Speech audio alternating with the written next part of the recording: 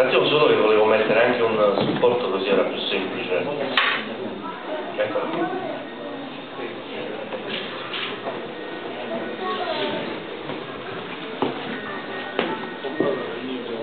Allora, io mi presento, sono Vincenzo Ferrante, se mi fossi presentato qualche anno fa avrei detto tranquillamente che sono un tecnico, però visti i tempi che corrono.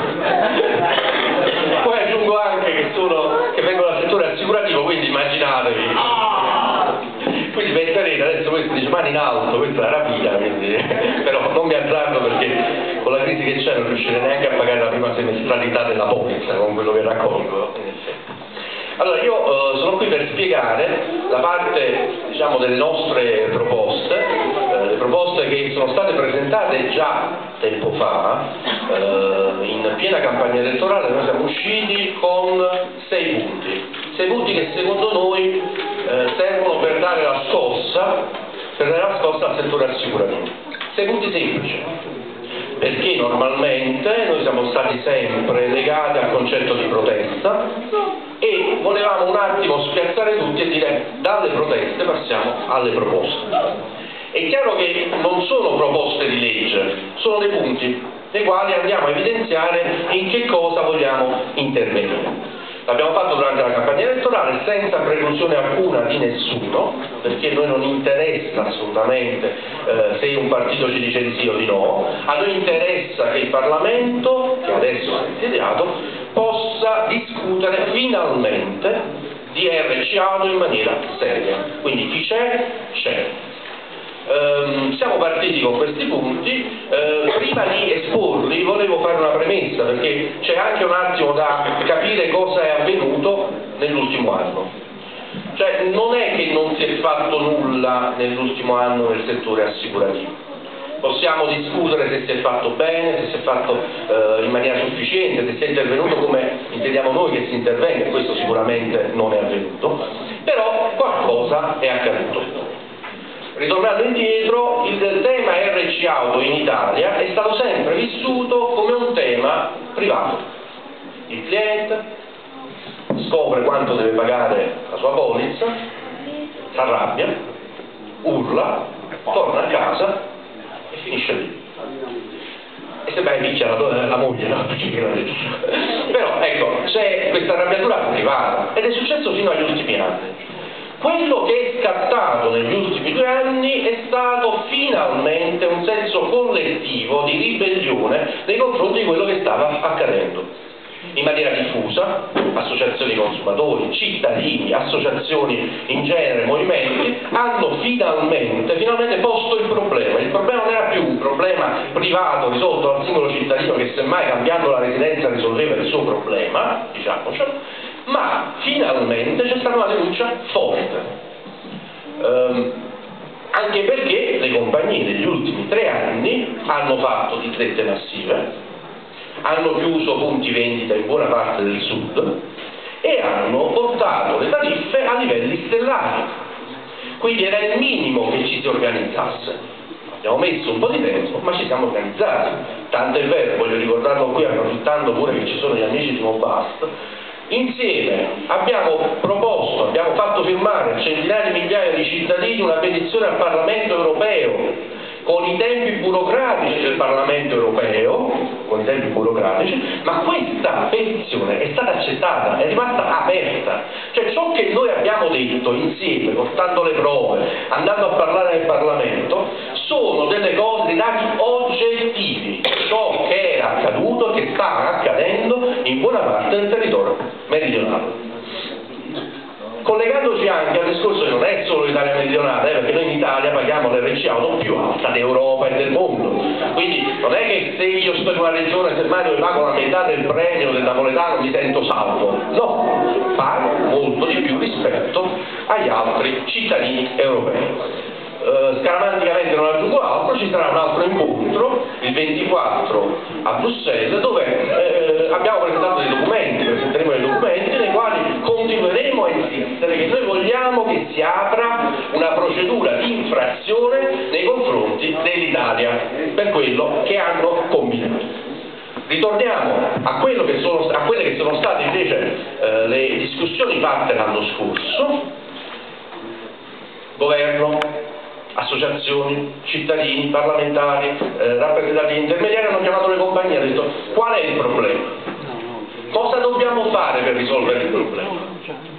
Sono uscite una serie di motivazioni, e vi dico la prima cosa che hanno detto, le frodi, gli imbrogli, quant'altro, hanno fatto un elenco, le compagnie hanno detto se eh, fate, se appoggiate, se approvate questi punti, noi, noi possiamo abbassare le tariffe.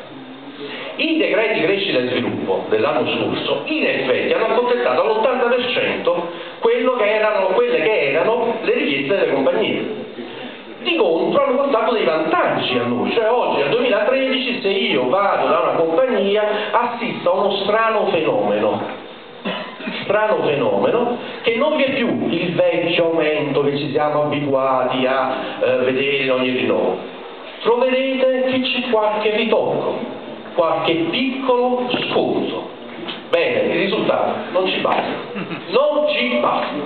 Allora noi vogliamo intervenire con delle proposte che vadano nel segno della trasparenza, della legalità e dell'equità. Primo punto che abbiamo messo, ripeto, non sono proposte di legge, chiaramente va poi articolato, però mettiamo il titolo.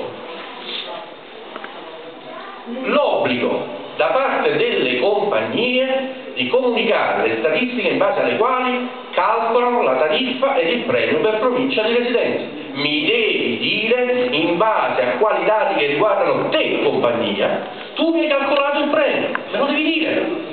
E questa cosa, badate, non è un'invenzione nostra, il cittadino che si è arrabbiato lo ha detto anche il Ministero dello Sviluppo Economico quando ha interpretato il famoso emendamento che riguardava la tariffa unica, cancellandolo, però aggiungendo che era giusto che le compagnie diventassero più trasparenti. A noi il consiglio del Ministero non è che interessa, a noi interessa la legge. Tu devi dirmi per quale motivo io pago più di un milanese, tanto per fare un esempio, fra grandi città. Anche perché è assurdo che il cattivo guidatore di Milano paghi di meno del miglior guidatore napoletano o anche di Foggia, o anche di Taranto, perché il problema è diffuso. Noi siamo l'iceberg, fondamentalmente, cioè la punta dell'iceberg, ma fondamentalmente riguarda tutti. Legalità. Partiamo da un presupposto, l'abbiamo sempre detto, che purtroppo ogni volta che iniziamo un discorso dobbiamo sempre fare la peghierina. Noi siamo contro le frodi. Per noi chi froda deve andare in galera, non li vogliamo vedere perché quando frodano inguaiano noi, perché le compagnie riversano sulle tariffe le loro inefficienze. Quindi maggiori pene per chi froda, che sono due anni, cinque anni, maggiori anni. Basta, è tutto disincentivo, perché quello che fa poi che crea più danni è anche il piccolo imbroglio, lo stupido imbroglio, fatto perché si pensa, vabbè, tanto paga l'assicurazione. Lo dico in napoletano perché sono napoletano, ma viene fatto in tutta Italia, eh? chiariamolo. Qui aumento delle pene.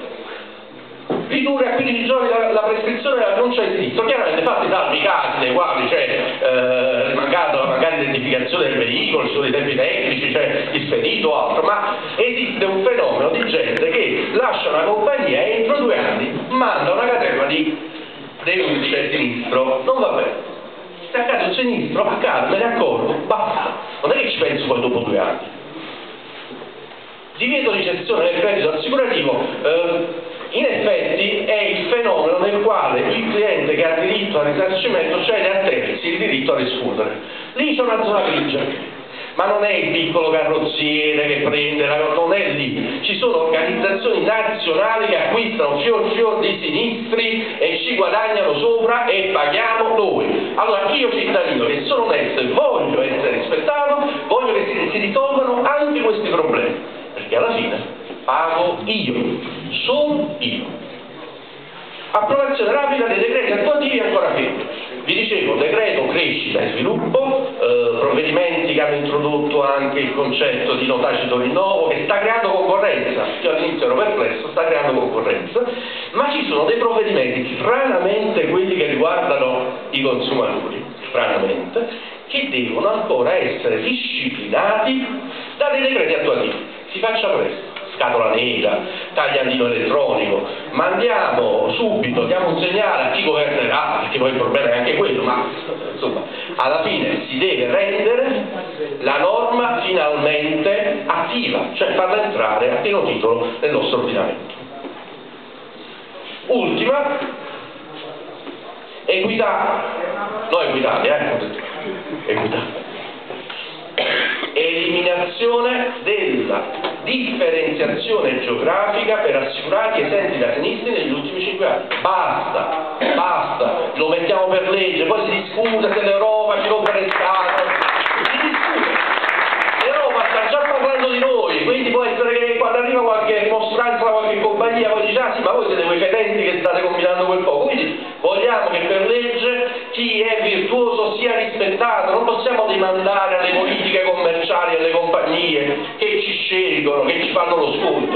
Non è possibile che io, a parità di condizioni soggettive e oggettive, debba pagare il doppio di un cittadino italiano. Lo vogliamo per legge.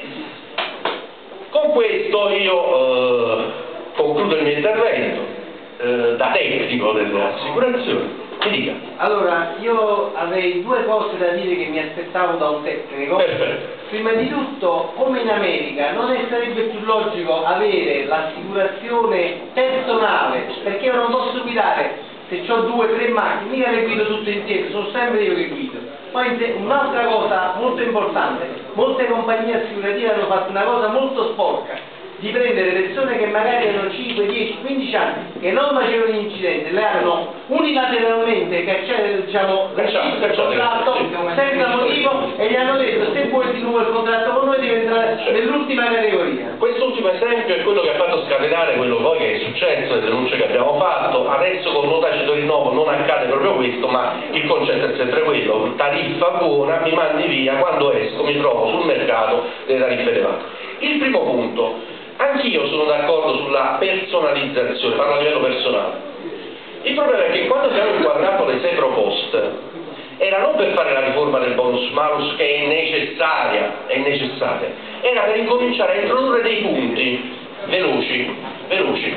È chiaro che si debba fare una riforma più articolata, tanto è vero che in discussione una serie, ma qua parliamo di persone veramente dei tecnici e non solo delle compagnie, dei tecnici, che stanno discutendo proprio la riformulazione del bonus malus, la vera personalizzazione del premio e il parametro residenziale a quel punto diventa un piccolissimo, una piccolissima aliquota che fa aumentare un 2% rispetto a un'altra città, perché questo è il differenziale dei sinistri tra una grande città e l'altra. Quindi noi quando abbiamo pensato sei proposte, parlo di, di campagna elettorale, abbiamo pensato qualcosa di semplice e veloce non è la riforma risolutiva, alla quale ci dobbiamo anche arrivare e noi non è che siamo lontani dal tavolo, anzi noi possiamo portare le istanze di una serie di movimenti, di una serie di persone che sono eh, a favore di una seria riforma dell'RCA. Ma noi chi? Noi tutti insieme. Adesso vedremo no? chi aderisce al comitato. Io adesso eh, concludo per così eh, gli interventi sono da fare anche su Paolo, quindi non voglio parlare solo io. Eh. Chiedo scusa, un'ultima cosa se uno fa un incidente, de, fa un sinistro del tipo sgraffio la fiancata a uno senza fare nessun ferito, non posso essere messo sullo stesso piano di uno che combina un guaio con morti e feriti, quindi io mi aspetto che le compagnie comincino a pensare anche ad una differenziazione nei sinistri chi fa un danno lieve e chi fa danni gravi. Perfetto, no, sono d'accordissimo. Ripeto, dai sei punti non era possibile inserire una. Passo la parola a Gianni Bianco.